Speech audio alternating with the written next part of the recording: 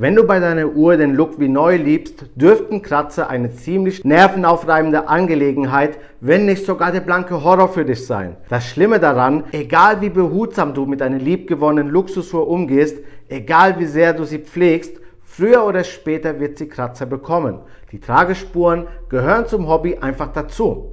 Du kannst diesen Kampf zwar nicht gewinnen, doch du kannst dafür sorgen, dass sich die Tragespuren auf ein absolutes Minimum beschränken. Ich zeige dir 5 Tipps, wie du gröbere Kratzer und sichtbare Tragespuren an deiner Luxusuhr vermeidest.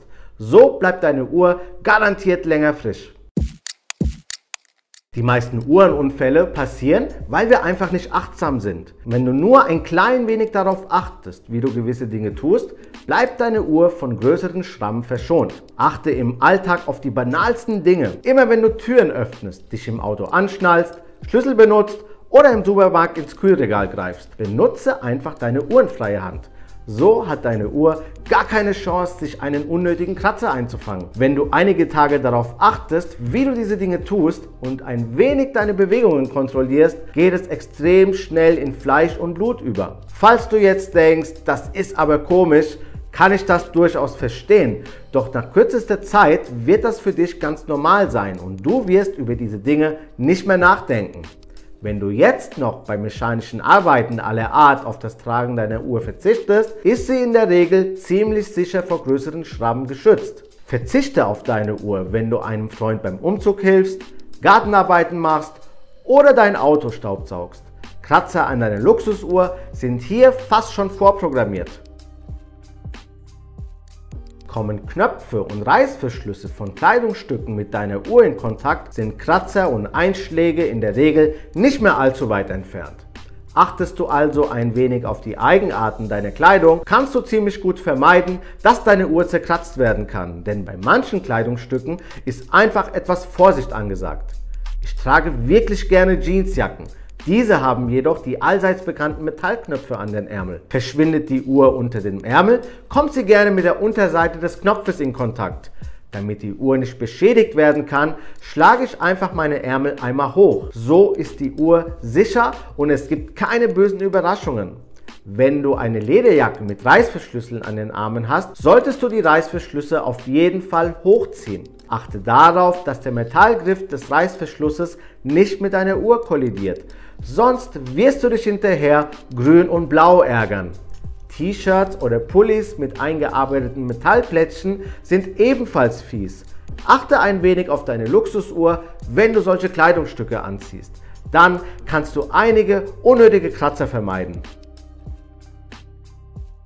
Gebe deine Luxusuhr nicht in fremde Hände. Vor allem nicht an Menschen, die nichts für Uhren übrig haben. Sie sind nicht so uhrenverrückt wie du und werden deine Uhr deshalb ganz sicher nicht mit der Vorsicht behandeln, wie du es tust. Selbst bei offiziellen Konzis und Uhrmachern musst du manchmal ein klein wenig aufpassen. Du willst ein Armband beim Konzi wechseln lassen?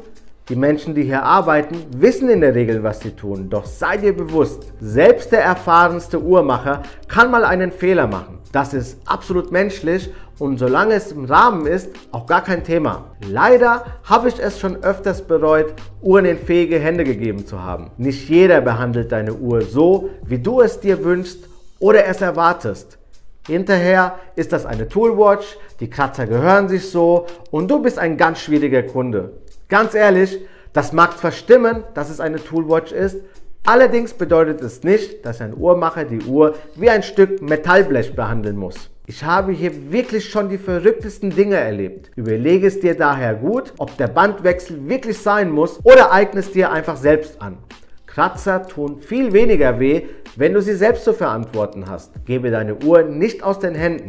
Dann vermeidest du nicht nur unnötige Kratzer, sondern auch unangenehme Diskussionen. Es ist völlig okay, wenn du von Zeit zu Zeit deine Luxusuhr ordentlich reinigst. Achte jedoch darauf, dass das Poliertuch immer sauber ist, wenn du deine Uhr trocknest oder feucht säuberst. Sonst kann es Kratzer hinterlassen. Du solltest es mit der Trockenreinigung sowieso nicht zu sehr übertreiben, denn je mehr du mit dem Poliertuch deine Uhr trocken reibst, umso mehr Schmutzpartikel können sich ansammeln, die deine Uhr zerkratzen können. Auf den matten Stellen deiner Uhr ist diese Art der Reinigung sowieso sinnlos. Ist deine Luxusuhr mindestens 100 Meter wasserdicht, kannst du sie mit Wasser und Seife reinigen. Vermeide es jedoch, eine Zahnbürste zu benutzen. In Verbindung mit mechanischer Reibung hinterlässt selbst die weichste Bürste unschöne, sichtbare Mikrokratzer, sogar auf mattierten Flächen. Auch diese Erfahrung durfte ich bereits machen. Die unter der Sonne extrem sichtbaren Putzkratzer sind zwar nicht tief, aber extrem unschön. Sie sind viel auffälliger als die gewöhnlichen Mikrokratzer, die beim gewöhnlichen Tragen der Uhr entstehen. Übe also nie zu viel Druck aus, wenn du deine Uhr säuberst und achte immer auf sauberes Putzwerkzeug. Auf Social Media Kanäle wie Instagram habe ich wirklich schon die verrücktesten Dinge gesehen. Da fliegt mal eine Submariner aus dem vierten Stock des Hotels direkt in den Pool oder eine Patek Philippe Nautilus wird in Cappuccino getränkt. Auch wenn diese Dinge für den einen oder anderen witzig sind und in der Regel gut ankommen, das kann auch mal echt böse ins Auge gehen. Egal wie viele Likes oder Follower du dir davon versprichst. Lass es lieber. Solche Dinge führen irgendwann vielleicht dazu, dass aus deiner Uhr ein Totalunfall wird. Du willst doch nicht wegen einem sinnlosen Double Wrist Roll eine Uhr mit Löcher wie ein Schweizer Käse haben, oder? Verzichte darauf, deine Luxusuhr zur Attraktion für andere zu machen. Dann führt sie garantiert ein sichereres Leben.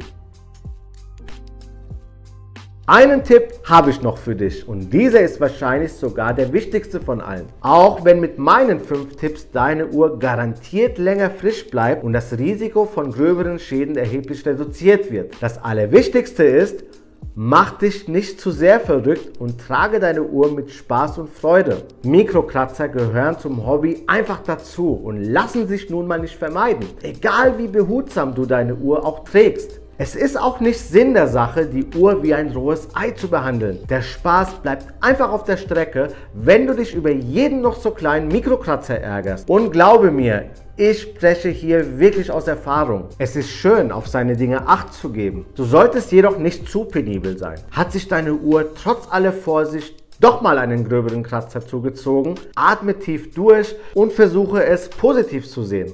Deine Uhr ist jetzt individuell und erzählt ihre ganz eigene Geschichte.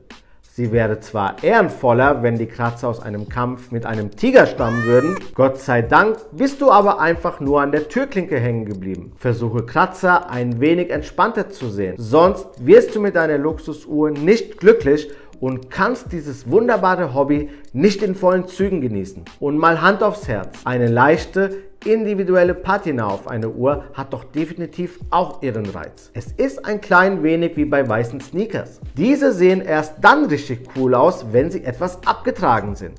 Als ich meine Datejust gekauft habe, wollte ich den Look wie neu so lange wie möglich aufrechterhalten.